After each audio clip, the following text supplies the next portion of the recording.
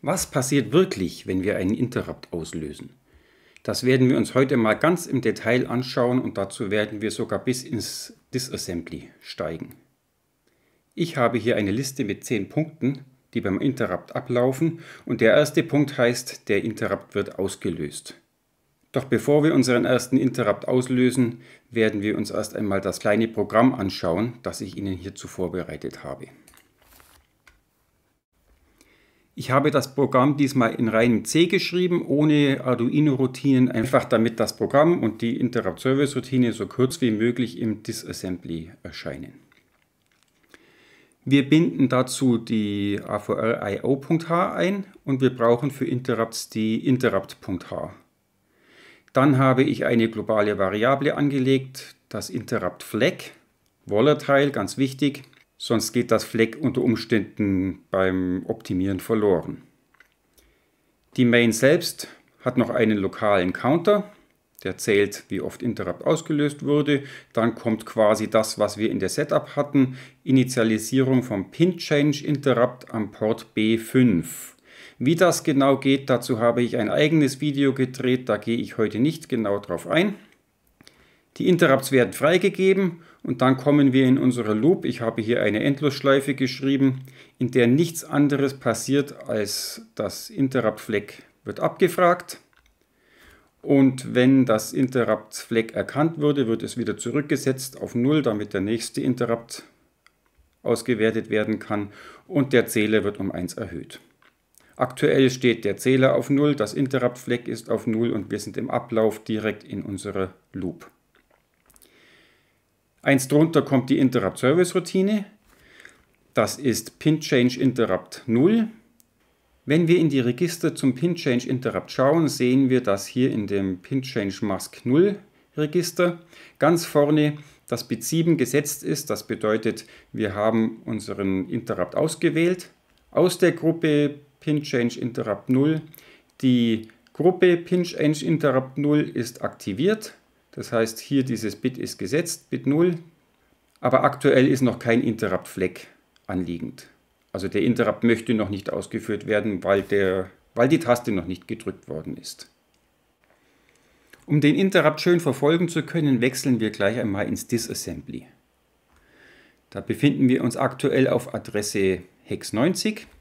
Und wenn ich ein paar Single Steps ausführe, sehen Sie, dass wir uns hier ständig im Kreis bewegen. Es sind immer nur drei Befehle, die ausgeführt werden. Jetzt löse ich einmal ein Interrupt aus. Das war es auch schon. Und wie Sie sehen, sehen Sie noch kein Interrupt-Flag. Das liegt daran, dass der Debugger uns nicht mit Interrupts belästigen möchte, während wir uns doch gerade aufs Debuggen in der Main konzentrieren. Das heißt, wenn ich jetzt ein paar Mal F11 mache, Single Step, dann sehen Sie beim ersten Single Step schon, dass er dieses Interrupt Flag tatsächlich erkannt hat. Aber bei weiteren Single Steps wird er es nicht auswerten und berücksichtigen. Er möchte uns einfach nicht belästigen. Um jetzt da wirklich zu sehen, was passiert, machen wir folgendes. Wir gehen an die Adresse in unsere Vektortabelle und setzen einen Breakpoint.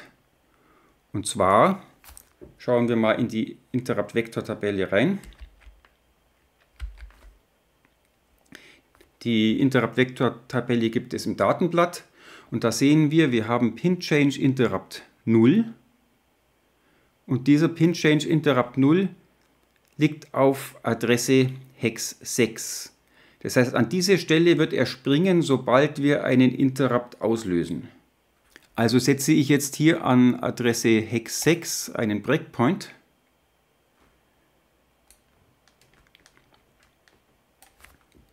Und schau doch mal in die Tabelle, denn jetzt kommt Schritt 2 unserer Aufgaben. Der Schritt 2 besteht eigentlich aus drei Schritten. Es wird folgendes passieren. Es werden weitere Interrupts gesperrt werden. Das sehen wir daran, wenn wir in unser CPU in unseren äh, Statusregister schauen, da gibt es ein Interrupt-Flag. Aktuell ist das noch aktiv. Man sieht das auch am Prozessorstatus, da ist das Statusregister auch ausgeführt. Interrupt-Flag ist hier noch aktiv. Das zweite wird sein, dass die Rücksprungadresse, wo er weitermachen möchte, im Stack gesichert wird. Der Program Counter ist aktuell auf Hex 8e an dieser Adresse, wo das Pfeilchen ist. Sehen wir hier auch, Program Counter steht auf 8e. Und der nächste Adresse wäre hier die Hex 90, die ausgeführt wird. Und die erwarten wir im Stack. Der Stack Pointer zeigt aktuell auf 8FA im RAM, den habe ich hier unten liegen. Das wäre 8F0, das wäre hier 8F8, 9A. Also genau dorthin zeigt der Stack Pointer aktuell. Und an diesen zwei Bytes wird dann die Rücksprungadresse liegen, die Hex 90. Und das dritte wird sein, dass der Program Counter direkt in die Vektortabelle gestellt wird, also auf die Adresse 6. Jetzt sind wir soweit. Jetzt klicke ich hier auf Continue. Und was passiert? Als erstes, wir haben hier tatsächlich die Adresse 6 erreicht. Der Program Counter steht auf 6. Das Statusregister hat sich geändert. Das Interrupt Flag ist jetzt weg, also Global Interrupt Disabled aktuell. Und wir finden im Stack die Hex 90, die Rücksprungadresse. Kommen die nächsten drei Schritte. Als erstes haben wir hier an der Adresse 6 einen Sprung liegen auf die Adresse 98. Das ist die Stelle, wo tatsächlich unsere Interrupt-Service-Routine liegt. Die wird jetzt praktisch mit dem nächsten Step, den wir ausführen, direkt angesprungen. Machen wir das gerade mal. Ich klicke auf F11 und er liegt hier mitten in der Interrupt-Service-Routine. Die geht wie lang? Bis da unten, wo ein Return from Interrupt kommt. Da setze ich diesen Breakpoint, den mache ich mal aktiv. Und da werden jetzt ein paar Schritte ausgeführt. Das ist das, was in der Interrupt Service Routine passiert. Wir erinnern uns, das war hier den Port einlesen, Interrupt Flag setzen und die LED toggeln. Schauen wir uns zumindest mal an, wie er die LED toggelt. Ich mache jetzt einmal Go und dann landet er in unserem Breakpoint Return vom Interrupt und hat die Interrupt Service Routine abgearbeitet. Die LED hat er uns jetzt leider nicht eingeschaltet. Das liegt daran, dass ich nicht mehr mit meinem Finger auf der Taste war. Wenn Sie sich erinnern, in Main hatten wir ja abgefragt, ob die Taste tatsächlich gedrückt ist. Aktuell sind wir auf dem Befehl Return vom Interrupt. Das wäre der nächste. Und der macht zwei Dinge.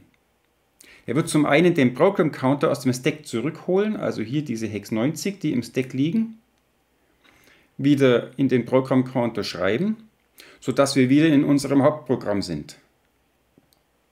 Und das zweite, was er machen wird, er wird die Interrupts wieder freigeben. Aktuell sind die ja immer noch gesperrt.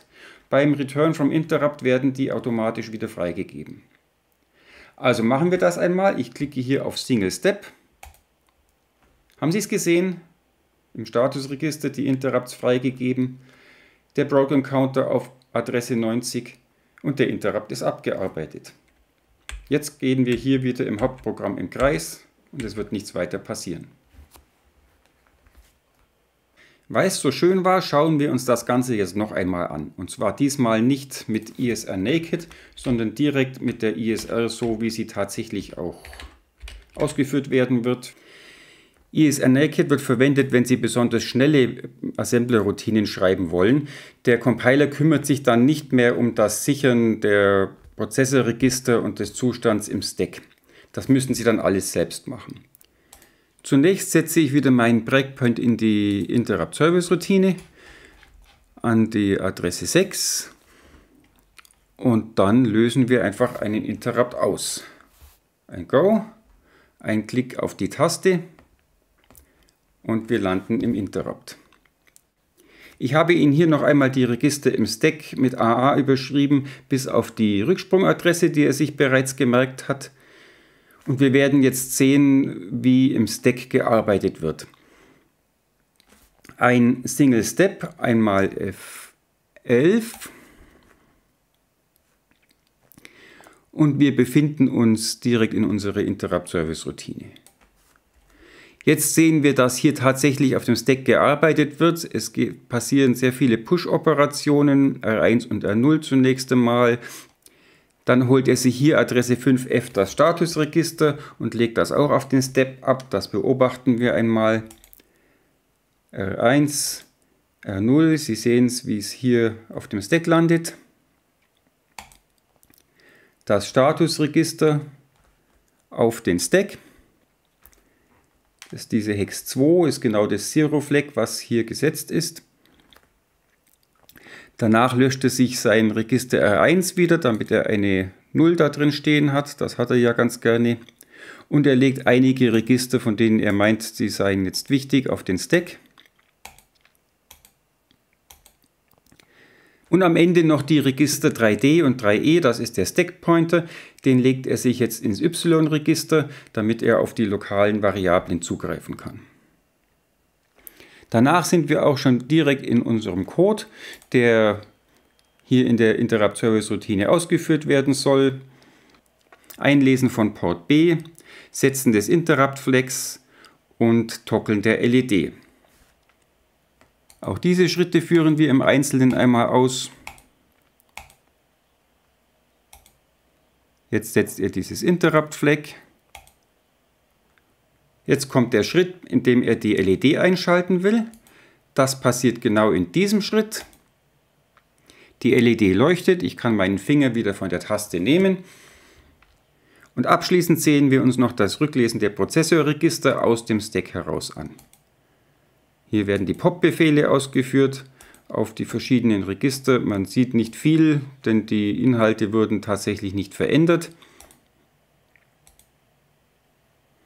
Zum Schluss ein wichtiger Schritt äh, wird das Statusregister aus dem Stack zurückgelesen. Aktuell liegt es schon in R0 und im nächsten Single Step wird im Statusregister wieder das Zero Flag gesetzt sein.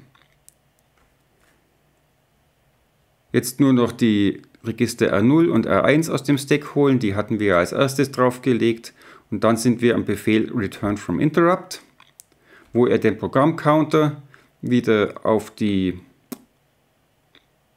Adresse 8e stellen wird, die hat er sich im Stack gemerkt und damit wieder zurück ins Hauptprogramm springen wird. Da sind wir jetzt gelandet. Und damit haben Sie gesehen, wie die Interrupts ablaufen. Was wirklich passiert im Arduino, wenn Sie einen Interrupt auslösen. Probieren Sie es doch gerne selbst einmal aus.